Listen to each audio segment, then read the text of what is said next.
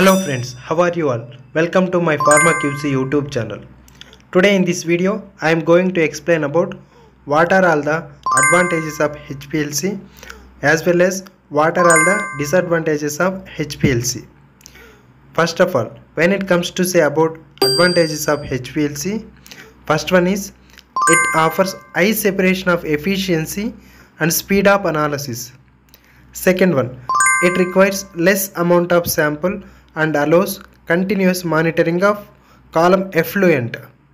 Third one, the results obtained are precise, accurate and reproducible. Fourth one, absorption, partition, ion exchange and size exclusion, column separation can be done by this HPLC.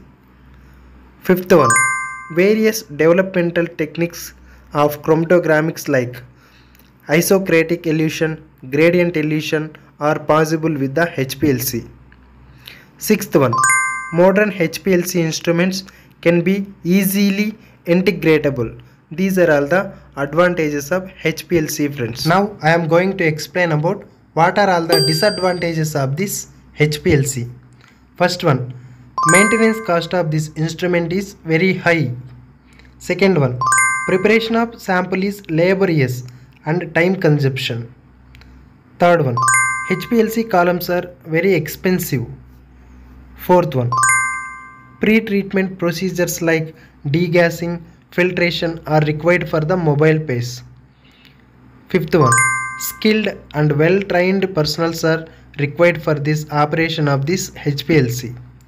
Sixth one, large amount of solvents like mobile phase. These are all the required for the separation. The components of the HPLC is solvent reservoir. Here we are having different types of pumps. Pump port A, pump port B, pump port C, pump port D, needle wash and seal wash. Here we are filling the solvents. So we are calling solvent reservoir. Second one, purge valve. Purge valve is using for the giving purging. Third one, auto sampler rack. Here we are putting the vials. Whatever we are preparing the sample, that vials we are here replacing. Fourth one, column compartment. Here we are placing the column. Fifth, there are different types of HPLC detectors we are using. Variable wavelength detector, diode array detector, refractive index detector, photodiode array detector. These are all the components of the HPLC system.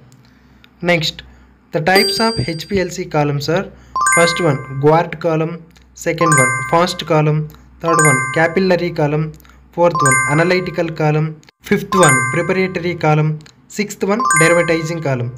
These are all the types of the HPLC columns we are using for the HPLC systems. This is today's topic friends.